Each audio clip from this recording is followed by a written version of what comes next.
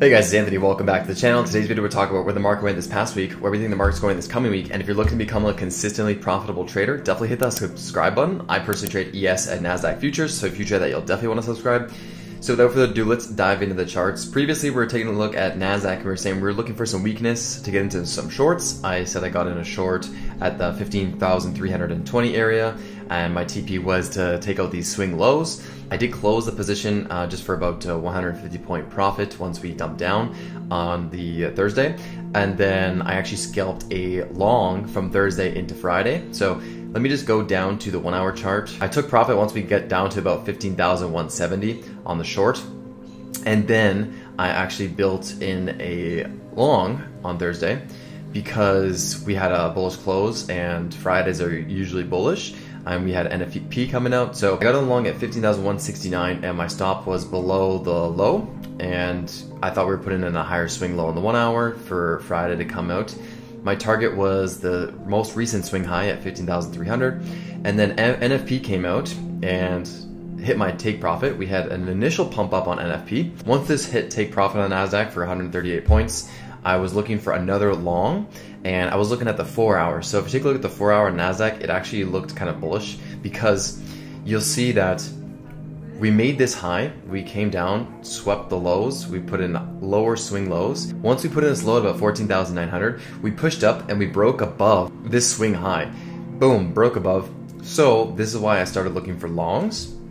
And I took the long here uh, because once we pulled back, we put in a higher swing low. This is where I took a long and I actually got stopped out. I took partials and then I got stopped out on the rest. So the whole trade I was barely profitable on. This was my most recent trade. We saw the push up. I got on a long at 15,258. My TP was above here and then the stop was below the most recent low here. So basically if you, you see here, we have a swing low, a higher swing low, a higher swing low. And then on Friday, we put in this swing low, and I thought this was going to be another higher swing low targeting this most recent high. So if we just go down to the one hour, my entry was at uh, 15,258 on this bar once we sold off, and my stop was below the four hour swing low. So if you just see, let's say 14, uh, 15,258, TP being at this most recent swing high here, stop being below the four hour swing low. So if you go to the four hour, stop was below that four hour swing low at 15,175. And you'll see I was profitable. So I took a partial off at uh, 15,320 and then we started selling off a little more aggressive than I, I wanted to see. This is the 15 minute on Friday we were coming down more aggressive than I wanted to see. So then I took off another position at uh, 15,270, and then I got stopped out on the rest at uh, 15,175. Crazy rug pull. This ended up being a net green trade, uh, very slightly, not much at all. But the previous trades, like the short I showed you earlier, and then the long earlier that we got out 138 points was great. So now, you know, I'm flat. I'm just looking to see basically, you know, since we took out this low, it makes me think that we're possibly going to be targeting the next four hour swing low, but we could have some bullish pressure before we do that. So let's bring it back to the four hour chart. Basically, we put in this higher swing low and another higher swing low, and now we kind of just dipped below and broke that. Because of that, that makes you think that we're going to target this next swing low at 15,100 uh, and then maybe target these lows at 15,000. But on ES, what's interesting was we put in a higher swing low here, another higher swing low here, and this wick did not actually break the swing low. So technically speaking on ES, we're still making higher swing lows. Um, so, you know, this looks extremely bullish. Like I wouldn't recommend it. I wouldn't recommend going into any shorts on ES, but because we broke a little on the NASDAQ, it looks like we could build in some shorts and, and target 15,100 and then possibly 15,020. So right now, uh, basically, kind of just trading sideways. There's nothing, I have no high conviction setup right now, so I just wanted to go over NQ and ES. Again, NQ slightly weaker, a little better for short setups. ES a little better for long setups right now. You'll see that the VIX had a big push up and then kind of just sold off. There's some gaps here on the VIX We could come down and fill those gaps. If we do, then you know, basically means that we could have another third high on ES. We could push to 4,500 on ES as the VIX fills that gap. You'll see a pattern. Uh, basically, if you just look at the pattern, it's you know push up 30% of the VIX and then kind of just get crushed. We'll see if that pattern holds up and we keep having the, that same kind of pattern. But you'll just see it right here. If you just look at March 8th, you'll see, boom, pushed up 60%. That was with the banking news and then sold off. Is, you know, we could have a time like that. But, you know, once we have a topping tail like that and another red engulfing bar after, usually the VIX just continues to get crushed. And when the VIX get crushed, NASDAQ and ES trend up. So you'll see right here, we made a low, we pushed up 36%. Once we had that topping wick, you'll see that the market just trended up. All the VIX got crushed. Another time, we had a push up, the VIX went up about, about 30% here. Boom, topping tail, and then red bar just got crushed and the market trended up from there. Same kind of setup right now where from low to high we pushed up 30%, topping wick, red bar. Makes you think this coming week we're going to trend up on ES and NASDAQ. Question is, is it going to be something more like this where we pushed up? We had a red bar March 14th, but then still had a little, we, we chopped around these high levels. But if you just go take a look, once we pushed up on the VIX and we had that first red bar, that actually marked the bottom on ES and NASDAQ. So if you just go look what happened after March 14th, after March 14th, we only went up on ES.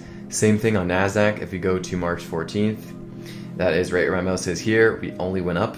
So, you know, based on the VIX, it honestly does look like we are just going to trend back up on NASDAQ, go to that 15,500 area, and it looks like on ES we are going to trend back up and go to that 4,500 area. That's just based on the VIX. DXY, you know, continues to get crushed. So, you know, if we do take out these swing lows, then clearly we're just consistently going down on DXY, and that could have more bullish pressure for ES and NASDAQ. But if DXY finds support here and pushes back up, goes to that 105 area, then we could have some good shorts on NASDAQ and ES. But right now, this does look like DXY does want to take out those swing lows. And because of that, again, that, that does support the long thesis on NASDAQ and ES. So based on what I'm seeing, it looks like longs are more favorable on ES at NASDAQ instead of shorts. PC is the put to call ratio. Uh, we did get a push up, but it still looks like we're kind of trending down on the put to call ratio. Let's go look at the fear and greed index. Here is the fear and greed index. You'll see that we bottomed on the put to call ratio June 16th. We had a big push up. We came down and then we made a lower high. So the question is, are we to now consistently go back lower and trend lower on the put to call ratio? Based on this, it looks like it. And when we trend lower on the put to call ratio, we trend higher in the market. If we pushed back up and got above this 0.80 area on the put to call ratio, it means that shorts would be in favor and we would continue to go up. But that basically means right now that we're putting lower highs in on the put to call ratio and we're likely going to trend back down, which means that we're likely going to trend up in the market. Same thing with the volatility. You see the VIX with the 50 day moving average. Obviously, this isn't something I look at a lot, but you can clearly see that every time the VIX gets up to the 50 moving average and gets rejected, the market trends up.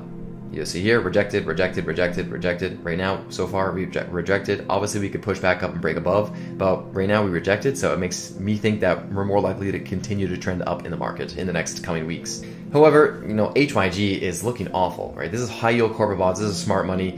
Typically, as HYG has been going down, is a lagging indicator for the market saying that we're likely to have a sell off. But this correlation, in my opinion, broke around May of 2023 and it didn't any longer matter. It mattered all throughout 2022, but uh, ever since about May 2023, the correlation really broke. I'll show you if we just look at uh, SPX and you overlay HYG on the daily, you'll see that typically we had divergences. If you look back at my previous videos, I was showing all of these divergences, but uh, about May, right here, look at this. You'll see that we were going down and the market was going up.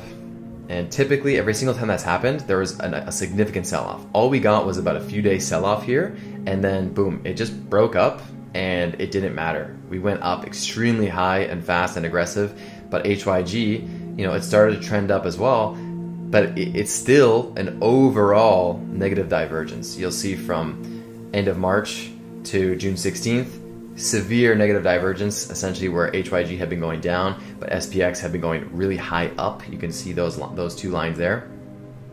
So what that tells me is I'm not following it. That's why I haven't been looking at it anymore. If I had been looking at it and I just blindly believed in the divergence, I would have been holding short and I would have blown up my entire account because the drawdown would have been too huge. And again, you can point to the same thing. You could say, oh, look, on uh, SPX, we made a higher high. HYG, we made a lower high. So why haven't we sold off aggressively? And then you'll see even here, we made a low here Friday, June 23rd, and we made an even lower low Thursday, June, July 6th.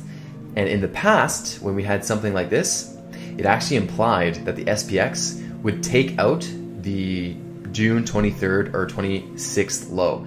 So basically implies that on SPX we would fall down to about 4,300 or lower in the coming week or two based on this HYG divergence. But maybe the correlation broke and maybe it doesn't happen. So we're just gonna have to wait and see. But you know, if the correlation did hold up, then yeah, in the next one week we would fall down to 4,300 on SPX, which is about two three percent correction from here. But I, I think that the correlation broke, so I wouldn't be following this anymore. July seasonality is typically pretty bullish, uh, the first half at least, and then the second half there's usually a sell-off in Nasdaq and ES. So, you know, if you want to take, if you want to listen to some seasonality, then yeah, you'll see that DXY being weak, we have the VIX being weak.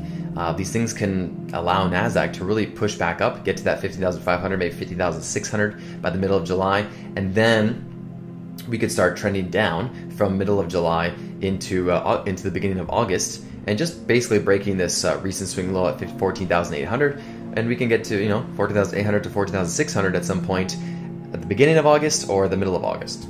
That's kind of what I'm looking at, but right now I'm, I'm actually looking for longs. I have a long bias on Nasdaq, so you know on Monday I'll see how the price action is, but I'll most likely be looking for longs at about that uh, 15,190 area, uh, possibly using uh, this recent swing low here at about 15,030 as a stop, and then probably targeting a, a new high, 15,480. That basically gives me a 2 to 1 risk reward ratio. Uh, if I can get a better entry, maybe just uh, get the entry at about 15,170, then I have my stop down here at about uh, 15,007, and then target being new recent highs at about 15,500, and that's a 2 to 1 risk reward ratio. So if I continue to see weakness in the dollar, if the VIX is weak, then I'll likely look for a long at about the 15,200 area and uh, put the stop below this swing low here at about 15,000, targeting new highs in the NASDAQ at about 15,500. If that gets broken, then I'll be switching the bias to short and then I'll start look look then I'll start to look for shorts and target the swing low at about 14,860. So right now I am expecting uh, us to kind of trend up this week. We'll see how it unfolds. But then after this week, I do expect us to roll over. But on ES, looking for us to target about 45.20 and then uh, possibly roll over. And from the middle of July into the uh, beginning of August. And I think that, you know, we could really just trend down about beginning of August, maybe get down to 43.30 or 43.20 and um, that's basically what I'm looking at there. Uh, I'm not going to get any, any, longs on ES. I'm actually going to be focused on, on NASDAQ, but that's basically what I'm expecting on ES. And we'll just have to see how that unfolds. There's nothing bearish about ES whatsoever until we break 43.70.